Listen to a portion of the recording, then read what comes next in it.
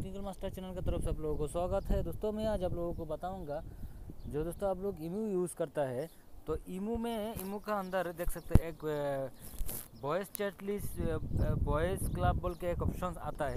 तो दोस्तों, देख सकते हैं इस तरीके से आपका आपका आपका ईमू में बॉयज़ क्लब आता है तो तो दोस्तों, अगर आपने इसको चाहता है, इसको इसको ऑफ़ करने के लिए देख सकते हैं, इस तरीके से आ जाता है।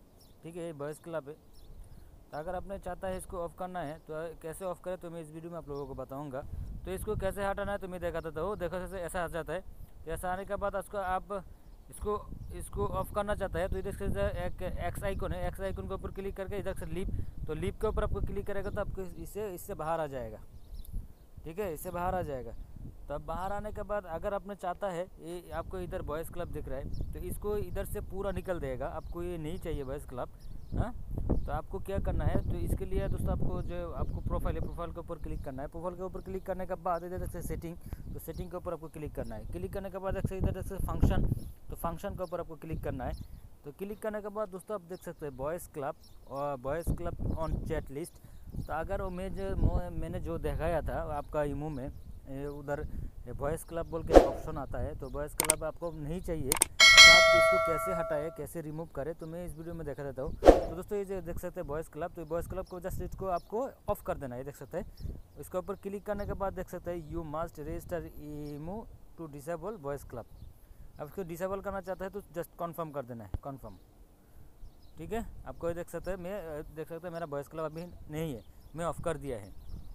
तो दोस्तों, अगर आपको ये नहीं चाहिए तो इस तरीके से आप ऑफ़ कर सकते हैं। तो अगर आपको फिर से चाहिए। अगर आपका इमू में ये बॉयज़ क्लब आप चाहिए। अगर आप इमू में ये बॉयज़ क्लब नहीं है, अगर आपने, आपको चाहिए तो आप क्या करना है? फिर से आपका जो प्रोफ़ाइल है, उसका ऊपर जाना है। जाने के बाद सेटिंग में जाना है। सेटिंग में जाने के बाद फिर फ़ंक्शन में जाना है। तो जाने के बाद इधर देख, देखने को आपको मिलेगा ऑफ़ है।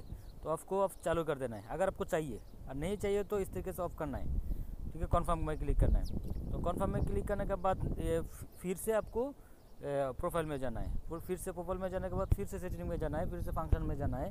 जाने के बाद इधर देख सकते हैं boys club on chat list तो इसका ऊपर एक बार क्लिक करके और एक बार चालू कर दो फिर से, फिर आपको ये आ जाएगा।